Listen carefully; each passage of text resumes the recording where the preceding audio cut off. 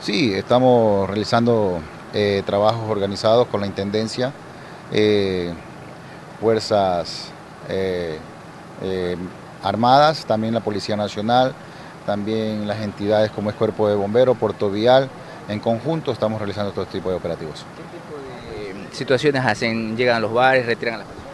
Bueno, sí, durante nuestra competencia del GAC estamos, hemos actuado ya en 11 bares, las cuales tres, han sido ya suspendidos por intendencia por parte del municipio que no han cumplido con los permisos, cinco y el resto cumplen con los permisos.